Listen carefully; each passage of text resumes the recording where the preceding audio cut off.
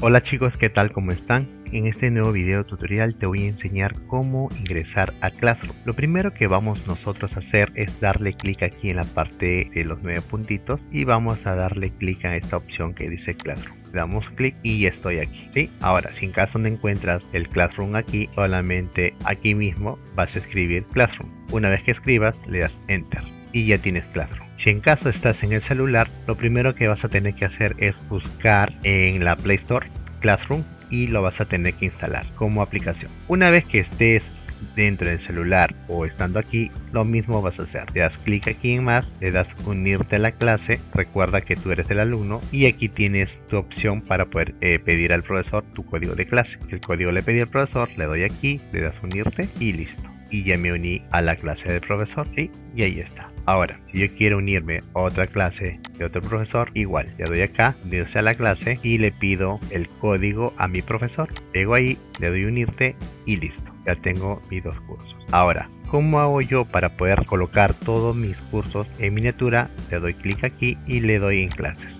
Y aquí está todos mis cursos y en esta opción voy a encontrar el calendario el cual tengo yo aquí programado de acuerdo a todas las clases o si no por clase por curso lo puedes tener no Luego le das clic aquí y acá vas a tener pendientes, ¿no? Si hay una tarea pendiente o un examen o algo por el estilo, queda ahí, ¿no? Y lo que tú vas a tener que hacer es desarrollar. Luego aquí en la parte de abajo vas a encontrar tus cursos. Ahora, si es que tú tienes un curso que has tenido el año pasado, entonces solamente tienes este curso que es la de ahora y este del año pasado, que tú haces es darle clic a los tres puntitos y solamente le das aquí anular la inscripción.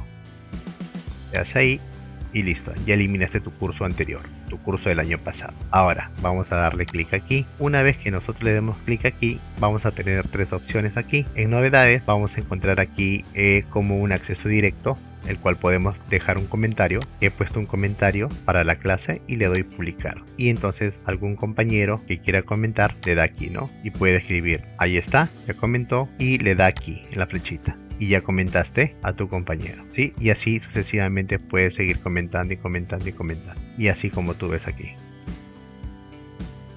Ahora nos vamos aquí a trabajo en clase. Cuando nosotros nos vamos acá en trabajo en clase, vamos a encontrar todo lo que nuestro profesor puede compartir con nosotros. En este caso puede haber un examen de test de entrada, el cual tú le das clic aquí y aquí se va a utilizar el quizzes. Entonces tú le das clic en el quizzes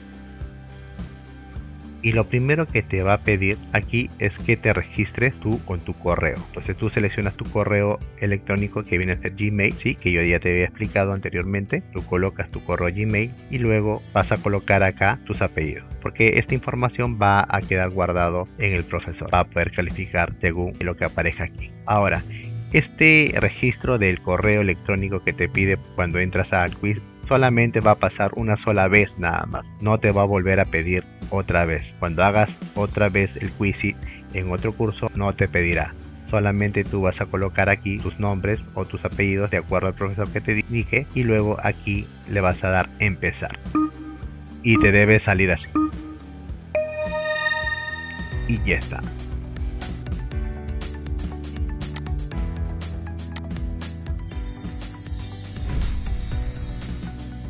ok y ahí está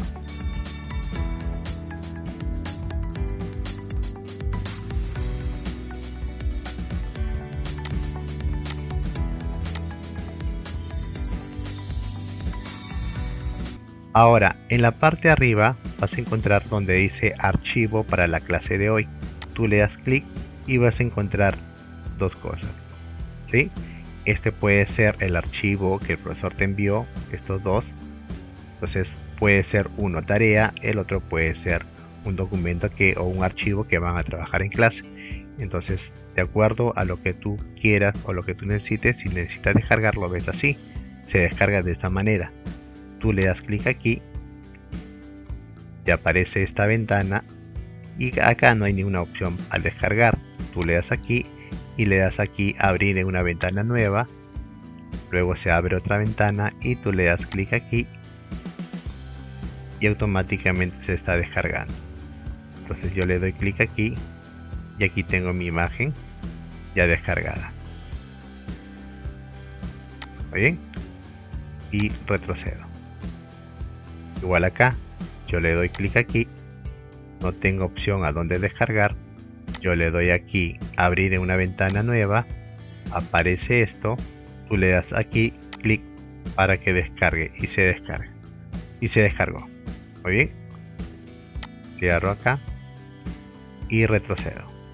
Ahora, si en caso acá tienes una tarea pendiente, tú le das aquí tarea de hoy. Entonces para ver la tarea, aquí le das y aquí vas a encontrar la tarea. Entonces, ¿cómo se envía una tarea? La tarea se envía así. Le das clic aquí en donde dice agregar o crear, le das clic. Luego vas a seleccionar archivo. ¿Ok? No vas a seleccionar estos dos porque tú no vas a usar esto. Tú le das archivo. Una vez que tú le das archivo, solamente vas a trabajar aquí en subir. Le das y buscas tu archivo. Una vez que encuentres el archivo, seleccionas, doble clic o si no, le das un clic y le das abrir. Y esto empieza a cargar. Ahora, aquí está cargando. Esto no quiere decir que ya enviaste la tarea. No, no, no. Esto no es enviar tarea, solamente es cargar el archivo. Una vez que tú hayas cargado el archivo, para entregar al profesor tienes que presionar aquí en esta opción, entregar.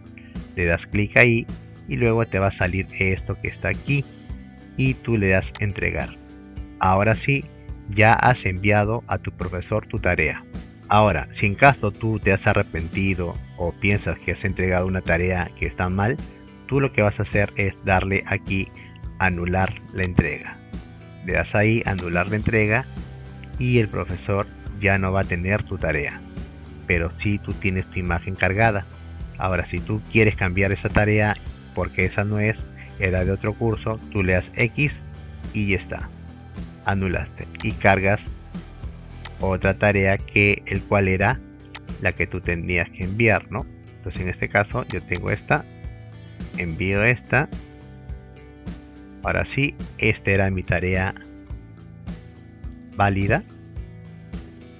Y ahora si le doy entregar, entregar, y ya entregué mi PDF resuelto. Ahora en este lado tienes personas, le das clic aquí en personas y vas a ver todos tus compañeros en clase. Muy bien, vas a encontrar todos tus compañeros acá. Ahora si nosotros nos vamos aquí a pendientes y vas a ver que no hay ninguna tarea pendiente. Así de sencillo y así de fácil es utilizar Classroom.